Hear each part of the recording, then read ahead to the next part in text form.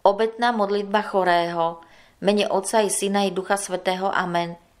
Pane Ježišu, Ty si liečiteľ chorých, Boh života.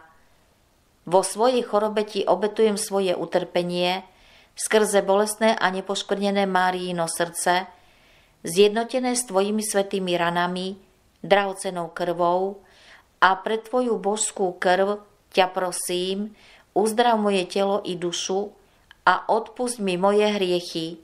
Ježišu, syn Dávidov, zmiluj sa nado mnou. Daj mi síl, nech som zdravý, aby som ti slúžil vďačným srdcom a láskou po všetky dni mojho života. Amen.